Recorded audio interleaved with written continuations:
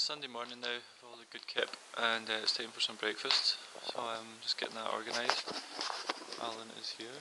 Hello. Scott's here. Uh, Dave ran away like a little girl. Robin! Where? Oh, just Uh, we lost Dave in the middle of the night. We went to the toilet and not seen him since. Yeah, we heard some kind of muffled screams, but I thought it's nothing. The, the muffin bear, the muffin man. So- anyway, Dave, Dave left early to go to church today. Um, unlike us heathens.